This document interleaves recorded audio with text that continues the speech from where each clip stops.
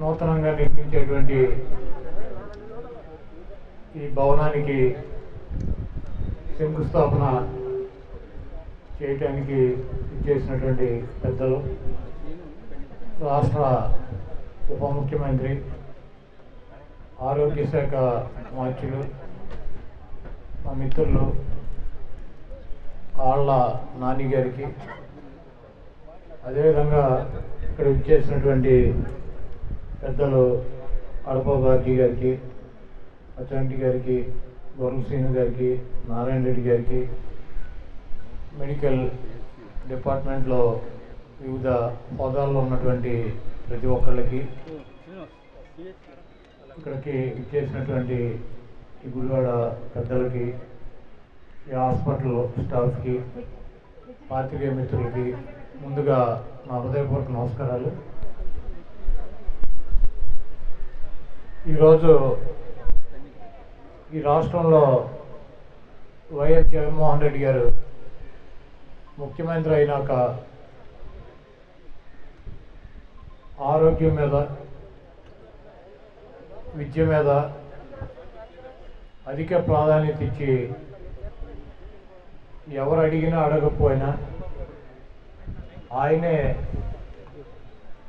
ఒక కార్యక్రమాన్ని రూపొందించిన నాడు నేడు అని చెప్పి స్కూల్స్ని హాస్పిటల్స్ని ఆధునీకరణ చేసేటువంటి కార్యక్రమంలో ఈ రాష్ట్రంలోనే కన్నీ విని ఎరగినటువంటి రీతిలో హాస్పిటల్స్ని స్కూల్స్ని మెడికల్ కాలేజీలు విద్యారంగానికి సంబంధించినటువంటి ప్రతి కార్యక్రమాన్ని చాలా విజయవంతంగా దేశంలోనే ఆదర్శంగా ఈ రాష్ట్రాన్ని నిలబడుతున్నటువంటి ముఖ్యమంత్రి గారికి మనందరి తరఫున హృదయపూర్వక కృతజ్ఞతలు. ఎందుకంటే ఈ హాస్పిటల్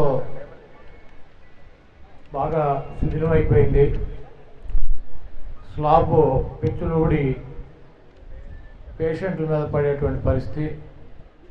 కొన్ని రూమ్స్కి తాళం వేసి బెడ్లు వేస్తే కనుక ఎక్కడ ఊడి మీద పడతాయని చెప్పి గత ఐదు సంవత్సరాలుగా కామినేని శ్రీనివాసరావు గారు పక్కన ఉండేవాడు ఆరోగ్య శాఖ మంత్రిగా. ఆయనకి అనేక సార్లు నేను విజ్ఞాపనలో ఇవ్వటం ఆ పక్కన బిల్డింగ్ సెంట్రల్ గవర్నమెంట్ ఫండ్స్తో కడుతున్నారు. అది అయిపోగానే మొదలెడదాం అని చెప్పి ఆయన చెప్తా ఐదు సంవత్సరాలు నడిచింది. ఆ తర్వాత ఒకరోజు నేను అడగల ఈయన్ని అప్పుడే గవర్నమెంట్ వచ్చింది కొత్త కదా అని చెప్పి. ఈయన ఓఎస్టీ గారు ఫోన్ చేసి మినిస్టర్ గారు మాట్లాడతారంటే ఏంటన్నా అంటే పది కోట్ల ఇరవై లక్షలు నాబార్డ్ నుంచి కొత్త హాస్పిటల్ నిర్మాణానికి ఫండ్స్ రిలీజ్ చేస్తాం టెండర్ తీసుకోమని చెప్పి అని చెప్పాడు. స్కూల్స్కి హాస్పిటల్స్ కోసం గతంలో శాసనసభ్యులు కావచ్చు మంత్రులు కావచ్చు ప్రజాప్రతినిధులు. ఎక్కనటువంటి గడప దిగినటువంటి గడప ఉండేది కాదు. ముఖ్యమంత్రి గారు ఎవరు అడగకుండా ప్రజలకి ఏది అవసరం? పిల్లల్ని చదివించుకోవాల్సినటువంటి అవసరం తల్లిదండ్రులకు ఉంటుంది. దాని మీద డబ్బులు ఖర్చు పెడుతున్నాం. ఒకవేళ మన జేబులో డబ్బు లేకపోయినా కూడా తల తాకట్టు పెట్టైనా అప్పులు బాగాలేకపోయినా పిల్లల్ని బాగా చదివించుకోవాలని చెప్పి ప్రతి వ్యక్తి కూడా ఆరాటపడతాడు అటువంటి విద్యని పేదలకి బలహీన వర్గాలకి బడుగు వర్గాలకి భారం కాకూడదని చెప్పి అమ్మఒడి ఫీజు రింబర్స్మెంట్ ఇటువంటి అనేక వినూత్న కార్యక్రమాలు ఎక్కడా కూడా దేశంలో జరిగినటువంటి కార్యక్రమాలు తీసుకొచ్చి పిల్లలకి పేద పిల్లలకి మంచి భోజనం పెట్టాలి మంచి స్కూల్ డ్రెస్సులు ఇవ్వాలి మంచి బూట్లు ఇవ్వాలి మంచి పుస్తకాలు ఇవ్వాలి మంచి ఇంగ్లీష్ మీడియం చదువు చెప్పించాలి. వాళ్ళు కూర్చునేటువంటి బల్లల కానించి కుర్చీలు కానించి వాళ్ళు రాసుకునే చదివి చదువుకునేటువంటి బ్లాక్ బోర్డు కానించి వాళ్ళకి కావాల్సినటువంటి టాయిలెట్లు బాత్రూమ్స్ అన్నీ కూడా ఒక తండ్రి స్థానంలో ఆలోచించి నిర్ణయం తీసుకొని ఎవరూ కూడా ప్రభుత్వం దగ్గరికి వెళ్ళి మాకు పలానా స్కూల్ బాగాలేదనో లేకపోతే మాకు పలానాటువంటి బిల్డింగ్ కావాలనేటువంటి అడిగేటువంటి పరిస్థితి లేకుండా దాని మీద పూర్తిగా నాడు నేడు అని చెప్పి ఆ రోజు స్కూల్స్ ఎలా ఉన్నాయి ఈ రోజు ఎలా ఉన్నాయి ఆ రోజు విద్య ఎలా ఉంది ఈ రోజు విద్య ఎలా ఉంది అని చెప్పి ఒక పెద్ద కార్యక్రమాన్ని పదివేల కోట్ల రూపాయలతో తీసుకుని మరి ఫేజుల వారీగా కంప్లీట్ చేస్తున్నారు. అట్లాగే కుటుంబంలో ఎవరికి ఆరోగ్య సమస్యలు వచ్చినా కూడా బతికించుకోవడానికి ఎంత డబ్బు ఖర్చు పెడతానికి కూడా పేద కుటుంబం అయినా కూడా వెనకడదు.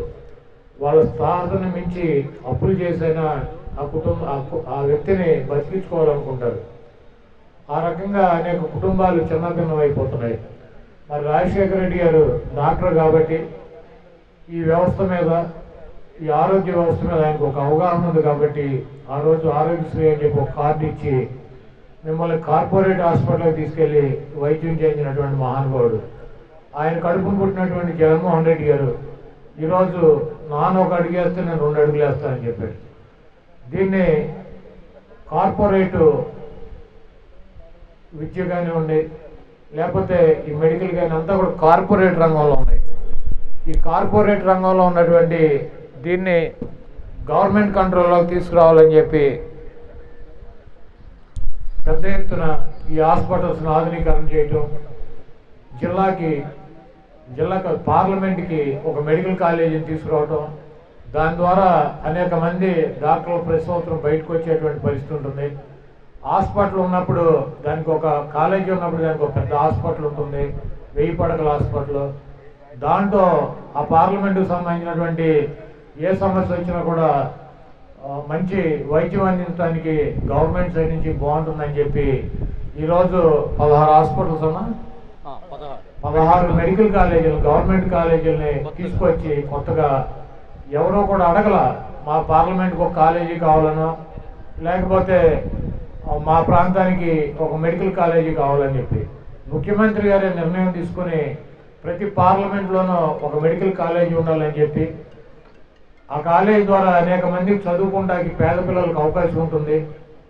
దీంట్లో గవర్నమెంట్ కాలేజీ అంటే డొనేషన్ కట్టి ఏమి ఉండదు డైరెక్ట్గా బాగా చదువుకుని విద్యార్థులకే మెడికల్ సీట్లు వస్తాయి. దాని ద్వారా డాక్టర్లుగా ఎక్కువ మంది రావడం వల్ల అదేవిధంగా హాస్పిటల్లో కాలేజీలో హాస్పిటల్ ఉండడం వల్ల ఎక్కువ మెరుగైన సేవలు అందించగలుగుతాం. దానికి సైమంటేనియస్గా నర్సింగ్ కోర్సులు కానీ ఇవన్నీ కూడా తీసుకొచ్చి మరి రాష్ట్రంలో ఉన్నటువంటి నిరుపేదల కోసం నిరంతరం ఆలోచించేటువంటి వ్యక్తి ముఖ్యమంత్రి గారు అయితే మరి ఆళ్ళనాని గారు సౌమ్యుడు ఆయన ఇచ్చినటువంటి ప్రతి కార్యక్రమాన్ని గ్రౌండ్ లెవెల్లో అమలు చేయడానికి కావాల్సినటువంటి కార్యాచరణ ఆయన తీసుకొని ఎప్పుడూ కూడా ఎక్కడ ఏ సమస్య వచ్చినా కూడా మెడికల్ పరంగా వెళ్ళటం అక్కడికి వెళ్ళి ఒక రోజు రెండు రోజులు ఉండి ఆ- ఆ సమస్య రెక్టిఫై అయ్యే వరకు కూడా నిరంతరం సీఎం ఆఫీస్తో మానిటర్ చేసుకుంటూ అధికారులతో మాట్లాడుతూ ఆ సమస్యను పరిష్కరించడానికి మరి ఆయన ఎమ్మెల్యేని కృషి చేస్తున్నారు. మరి ప్రాణాంతకమైనటువంటి వైరస్ కోవిడ్ అది వస్తే చనిపోతామనో లేకపోతే సైడ్ ఎఫెక్ట్స్ వస్తాయనో విపరీతంగా భయపడ్డారు.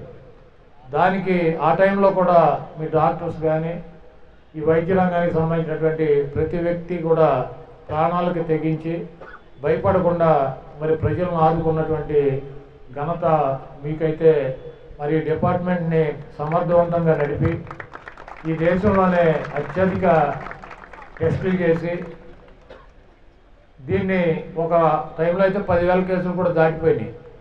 భయపడేటువంటి పరిస్థితుల్లో దీన్ని అదుపులోకి తీసుకురావడానికి నిరంతరం మరి ఒక డాక్టర్గా పైన డాక్టర్లాగా కృషి చేసినటువంటి మా ఆళ్ళ నాని గారిని కూడా అభినందిస్తూ మరి ఇంత గొప్ప కార్యక్రమం మేము అడగకుండానే మాకు ఇచ్చినందుకు ఈ గుడివాడ ప్రజల తరఫున జగన్మోహన్ రెడ్డి గారికి మీకు మేమందరం కూడా కృతజ్ఞతగా ఉంటామని చెప్పి తెలియజేస్తూ సెలవు తీసుకున్నాను